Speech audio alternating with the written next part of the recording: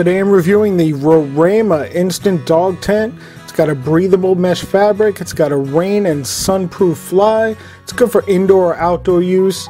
It's very large, it's 42 by 42 and it's 31 inches high.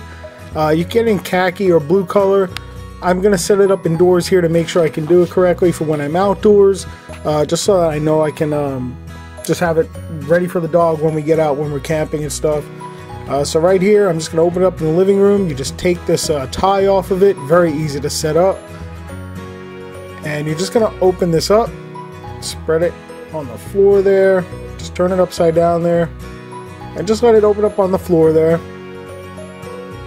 Alright. And uh, very simply, you're just going to pull the, uh, the legs out and it's going to pop right into shape there that's it. That's all there is to it. We're just going to add the fly on top, which is going to keep the rain out of it, the wind, and uh, the sun also, and uh, protect your uh, your pet in there. Is the uh, perfect size for camping. Anything uh, packed really small into that carry bag, um, and it, it, really just uh, it went up really quick. I can't say anything. It took maybe like 10 seconds 10 seconds from unpacking it to having the dog tent completely uh, assembled there. You know, except for this rain rainfly, which I'm just attaching now. Uh, that does take a few seconds just to clip those down. It also comes with these uh, metal stakes so that you can, uh, you know, attach it to the ground there, just stake it down so it doesn't blow away or anything. I'm indoors, so I'm not going to do that.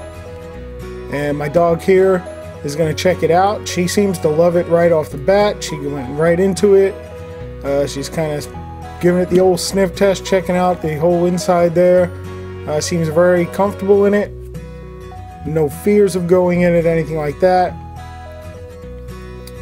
Just uh, checking it out there. She's checking out the, uh, the top. Seems very happy.